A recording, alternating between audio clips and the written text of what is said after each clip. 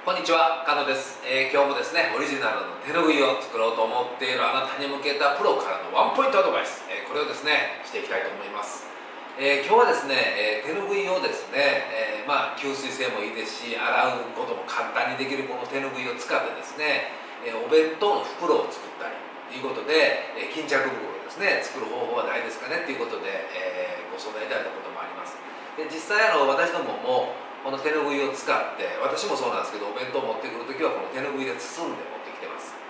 で巾着袋にする方法なんですけども、まあ、手ぬぐいのサイズっていうのは大体3 3センチ ×9 0センチっていう長さ。でね幅長さになります。でこれをですねこのまま巾着袋に使うっていうのはなかなかちょっと難しいんでやっぱり2枚重ねでですね、えー縦にこうで大体 60×90 ぐらいの大きさにしてそこから作り出すっていうのが一番やっぱりいい方法やと思います。であのまあ私どもの場合なんか私なんかの場合はその巾着袋を作るのもね面倒くさいっていうことなんで実はそのまま、えー